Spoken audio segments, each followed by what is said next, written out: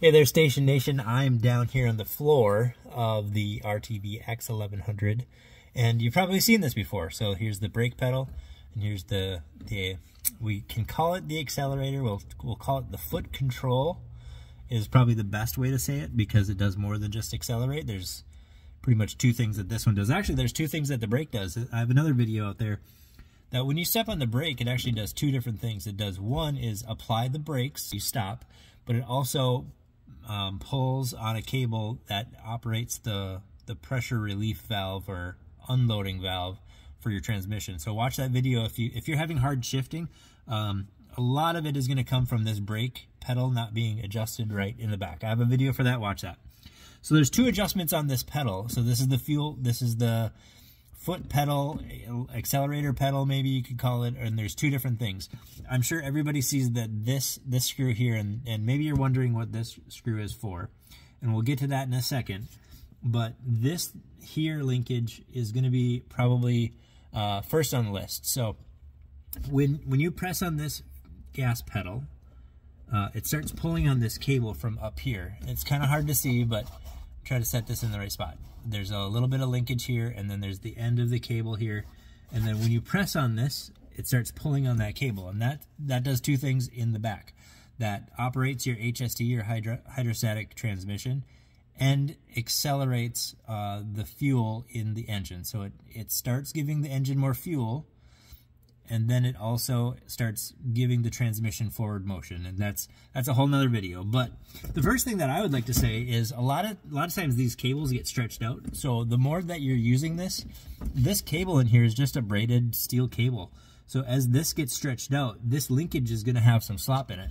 So if you don't when you press on this uh, pedal see i have just this a little bit right there.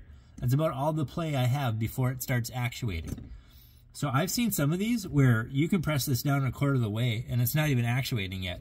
So that's that's that's a no-no. So the first thing that you want to do in here is there are two uh, nuts in here. This is just a kind of a set of retaining nuts or lock nuts. You can loosen up this one. We're gonna loosen. Well, it might be better to have two um, two uh, wrenches in here, but so you can loosen these up, right? Independently. And what you're going to want to do is you're going to tighten this one up. As you tighten this lower one, so loosen them both up, but then start to tighten this one. And as you tighten it, it's going to draw this cable back, which is going to bring that cable back up there. So then you're going to have um, better foot control. Like this is going to have better response time. So when you step on the, the accelerator pedal, that's going to accelerate like immediately. So you want as little as slop as possible in there, but you do want a little bit of play. So you don't want this to be um, so tight that you're that you're getting more engine RPM. That's that's not great. So you want this to be all the way zeroed out so your engine idle speed is just idle. So I have just this little bit of play in here. And then when I press on this thing, it's going. Like we're going right away, right?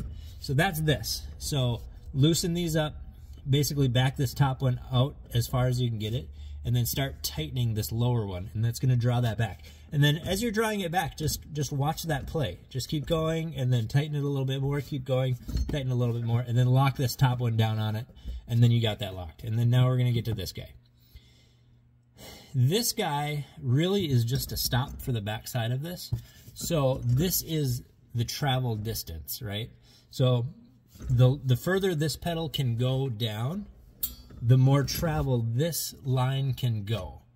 And that's going to have some implications in the back. So um, on mine, I will set this as low as possible. You can almost throw this thing away because this pedal actually hits this cable before it gets to this plastic. So this is is this is almost on this cable. So if you want to protect this cable, this is very important. But this stop is going to be the distance that you can go. So really all of the throttle that you could ever get out of this thing is because of this this stop right here. So in mine, I will keep this all the way down. Actually, there's there's typically a uh, locking nut down here uh, that you'll have to unscrew. You'll have to unscrew that nut locking nut, back it all the way out, and then you can crank this down but I found that that locking nut is actually is losing me some travel distance, which has the implication in the back. So you can just, uh, I, I don't know how to say this.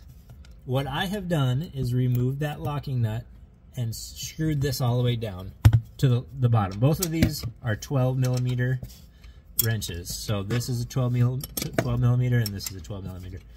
So really just crank this all the way down. That's gonna give you more travel. And then in the next video, uh, I will talk more about the backside of this. So just doing this, this one is gonna help you out a lot just to get that, um, that response time down better. And then this one is gonna give you more travel, which will do two things really in the back. It's going to give you, it potentially could give you more engine RPM, maybe, maybe not. There's some reasons for that. But it's also going to open up your HTS or HST valve uh, more, so you actually could end up with more forward or reverse uh, flow in your in your HST. So, all right, so that's the inside uh, linkage of the foot control pedal. So uh, the next thing we're going to talk back in here, we're going to talk about that linkage comes into here and starts actuating this rod. And this rod does two different things. So when you when you pull on that, it's actually going to pull on this guy here like this. And then that's going to head, head down to your throttle. That's going to go to your engine.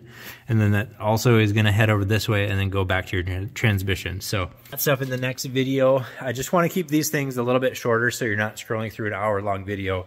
Uh, you know, trying to find the part that you really want to know. So just a little bit shorter. Uh, so thanks for hanging with me. Thanks for watching. And uh, I guess uh, see you in the next one.